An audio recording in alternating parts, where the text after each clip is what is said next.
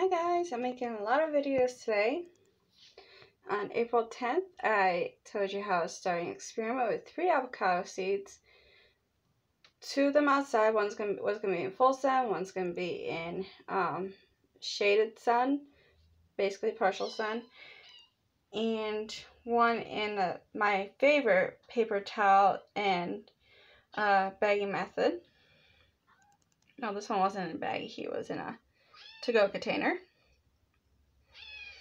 Um, but uh, paper towel, what damp paper towel and a airtight container underneath my sink where it was nice and warm and shaded, well dark.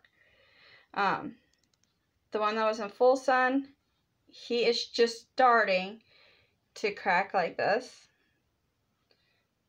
The one that was in no sun at all, uh, rotted.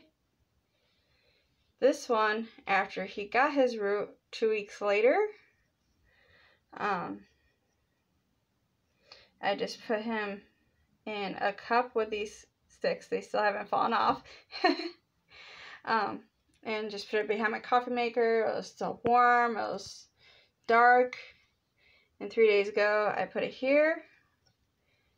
But when I first put it here, I just had the one root.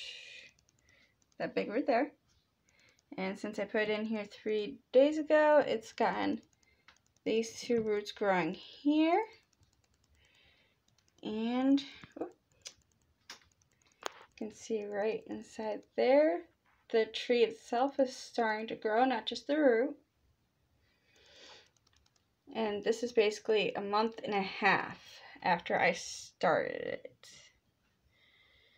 Moved it in here for more direct sunlight. So about a month and a half, you should at least get some sort of root. Because like I said, even the one that's slowly growing outside is starting to get root. So, and that's a month and a half later.